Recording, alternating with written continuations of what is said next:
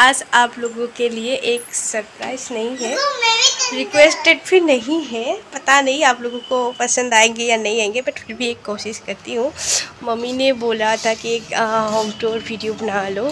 सो मतलब मायके का होम टूर वीडियो आप लोगों को देने जा रही हूँ। मेरे पास कैमरामैन नहीं है दूसरा। हर्षिता छोटा है वो नहीं कर पाएँगे। मम्मी ने बोला था कि वो कर देंगे लेकिन मुझे विश्वास नहीं है।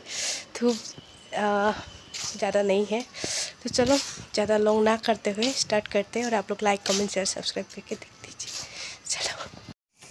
सो so, पहले ही आप लोगों को बोल देती हूँ आप लोगों का बड़ा बड़ा घर अच्छा अच्छा डेकोरेटेड घर देख के तो मुझे तो अच्छा नहीं लगता है। बस जो होता है ना खुद का घर जैसे भी हो सबको अच्छा ही लगता है छोटा मोटा जो भी है। सो so, आप लोगों को आज मायके का टूर देखने देखने के लिए रेडी हो और ये असम स्टाइल घर कैसा होता है, थोड़ा बहुत आप लोगों को आइडिया मिलेगा ज़रूर। तो ये है हमारा गेट आस पड़ोस वाला होता है साइड में जो है आस पड़ोस का घर है। तो मैं गेट से स्टार्ट करती हूँ। क्योंकि हम मम्मी अकेले रहता है तो ये रहना ज़रूरी है। सीसीटीवी दोनों साइड में है दो दो कैमरा पूरे घर में हमारा है। सो आप लोग ये मत सोचिएगा, कोई अगर मतलब शैतानी करना चाहते हैं कि हम लोग तीन कमज़ोर रहते हैं तो चोरी करने आते हैं। सो हमारे घर में कैमरा है भाई। सो हम लोग घर के एंटर हो चुका है। और आप लोगों को गार्डन मैंने दिखाया था तो एंटर होते ही आप लोगों को ये फेस मिलेगी, क्योंकि हम लोग जो घर खरीदे थे ना तो रेडीमेड घर था इधर एक तो उसको तोड़ के पीछे अभी मम्मी ने बनाया है, और इसको ये पता है ना, गाँव में मिलता है जो हैंड पम्प इसमें मतलब एक मम्मी ने लगा के रख दिया इधर एक हैंड पम्प और जो हम इधर का जो ज़मीन है ना हमारा मतलब जब ख़रीदा था ना तो ये स्क्वायर स्क्वायर टाइप का नहीं था लॉन्ग टाइप का है इसको मतलब लेंथी टाइप का है। सो so, खुजते ही आपको हमारा मंदिर मिलेगी क्योंकि फ्रंट में मंदिर रहना ज़रूरी होता है साइड में गार्डन है और सामने हर्षिता है। और दिखने में आपको छोटा लग रहा है, घर का जो भी है, इसका एक रीज़न है। सामने एक कैमरा है जो मॉनिटर करते रहता है। साइड में भी एक कैमरा है। आपको बोली थी क्योंकि हमारे इधर लोग नहीं है तो हमारे पास कैमरा ही मतलब काम करता है। इंसान नहीं है तो क्या हुआ? टेक्नोलॉजी है आजकल। और पीछे से एक ट्रेन लेन, ट्रेन लाइन है। बिल्डिंग वगैरह नहीं बनाया क्योंकि मम्मी अकेले रहता है, मोटा है और अभी मतलब एज भी हो रहा है तो सीढ़ियाँ चढ़ने में प्रॉब्लम होता है। तो सिंपल तरीके से ही कम लोग हैं तो हम लोग नहीं रहते तो मम्मी अकेले रहता है ना। तो इस वजह से मतलब कम रूम बनाया है ताकि इसको मतलब सब कुछ करना भी पड़ता है ना। तो उस हिसाब से और एंटर होते ही हमारा हॉल है। सो so, हॉल अभी थोड़ा सा गंदा मंदा है क्योंकि हमने अपना सामान रखा है। हर्षिता का पापा का बाइक इधर एक सोफा सेट और ये मम्मी ने पता नहीं क्या रेक बनाया है मुझे नहीं पता। और ऐसे ही थोड़ा बहुत लाइट डेकोरेटेड ऐसे कोई डेकोरेट वाला वो सब फंदा नहीं है कि कोई इंटर इंटीरियर डिज़ाइन वगैरह किया है। सिंपल तरीके से और मम्मी ने ये इस बार आके मैंने देखा है एक, एक मनी प्लान रखा है। इसका नाम क्या है नहीं मालूम। और उस दिन जो मेरी अलमीरा लाई थी ना तो इधर ही रखा है और ज़्यादा जगह नहीं था। सो so, ये है हमारे हॉल का लुक कैसा लगा बताइएगा? ज़रूर बहुत ही सिंपल तरीके से। और मेरी मम्मी को ना ज़्यादा सामान खचर खचर करके सामान रखना पसंद नहीं है और देख ही सकते हो। हॉल बहुत ही सिंपल तरीके से रखा है। बट हर्षिता बहुत ही तंग करता है सारा का सारा निकल रखता है। कैसा लगा बताएगा ज़रूर हॉल का आउटलुक और आप लोगों के लिए एक सॉरी हर्षिता के लिए एक मतलब चीज़ बनाया था। फ़िलहाल पता नहीं आप लोगों को दिख रहा है या नहीं दिख रहा है। ये जो हर्षिता की लैंग्वेज में डांसिंग लाइट उसको मतलब बहुत पसंद है। तो इसीलिए हर्षिता हर्षिता की आयता ने ये लगा दिया था हर्षिता के लिए खेलने के लिए मतलब आ, क्या बोलते हैं उसको सीलिंग में लाइट वगैरह। तो ये हॉल का हो गया है। लुक मैं अच्छे तरीके से नहीं दिखा पा रही हूँ पता नहीं। और घर का जो हमारा डाउन वाला है ना क्योंकि हर साल हमारे इधर ना बाढ़ आता है तो इस बार ना मम्मी ने ना पूरा मतलब आ, मिट्टी डाल के ना जो फ्लोर का जो है ना हाइट ऊपर कर दिया। तो इसीलिए आपको घर अभी थोड़ा सा छोटा साइज़ का लग रहा है। तो यही रीज़न है हमारा घर फ्रंट से ऐसा लगता है। सो इधर से एक डोर है इससे किचन दिखेगी। और किचन तो ऐसे बनाया नहीं है अभी तक क्योंकि हमारा जो घर है ना ज़्यादा दिन नहीं हुआ है बनाया हुआ हुआ है बट ज़्यादा मतलब वो नहीं हुआ है टाइम नहीं हुआ है शहर में आते हुए। पहले तो हम लोग गाँव में ही थे गाँव में घर वगैरह है। सो so, सिंपल तरीके से उधर एक वॉशिंग बेसिन है मतलब हैंड वॉश वाला।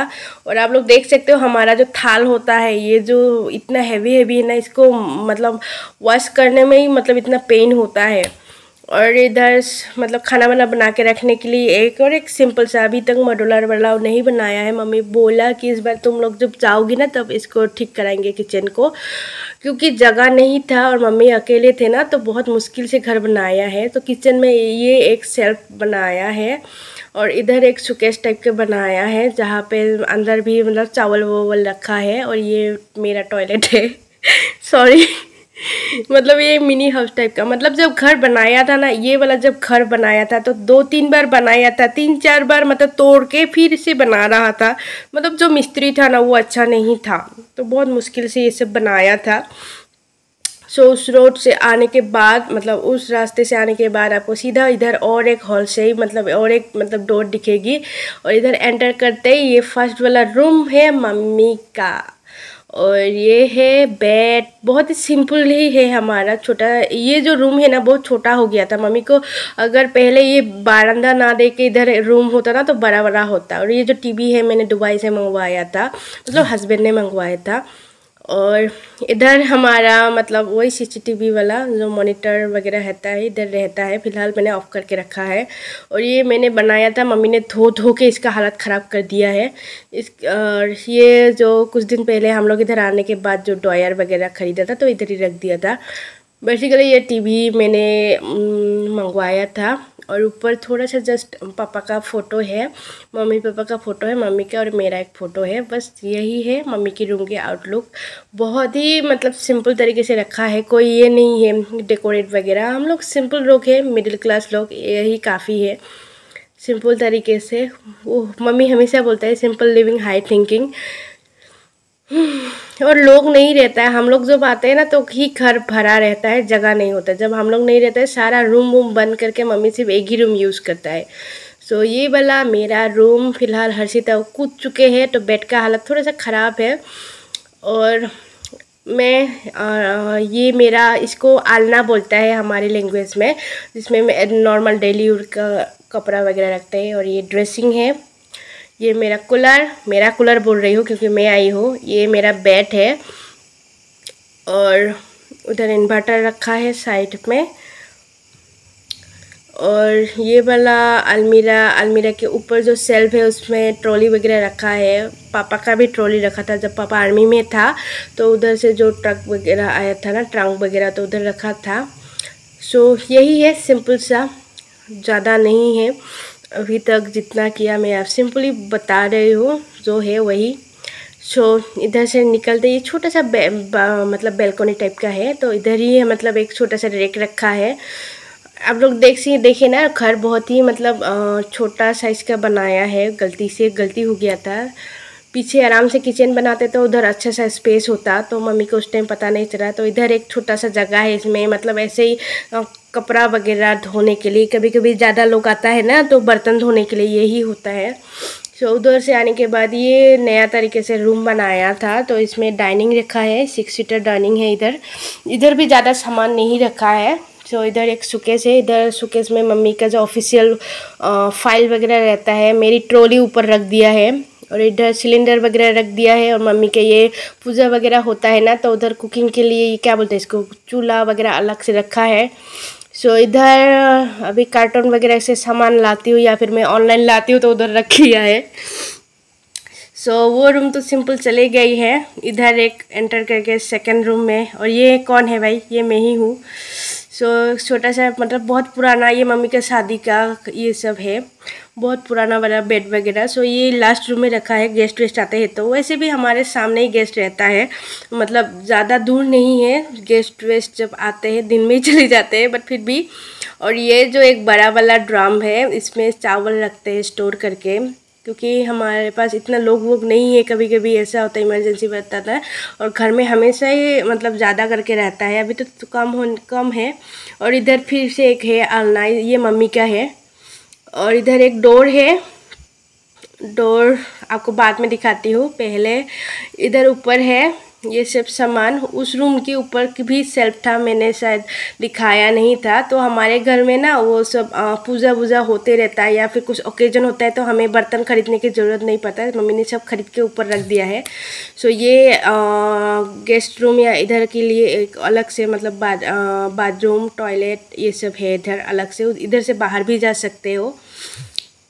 सो so, थोड़ा सा साइड में जो जगह था उसमें स्टोर रूम टाइप के बना के रखा है। सो so, ज़्यादा वो सब नहीं किया है। सिंपली और मैं भी नहीं रहती हूँ कि डेकोरेट करके रहूँ अभी जितना है।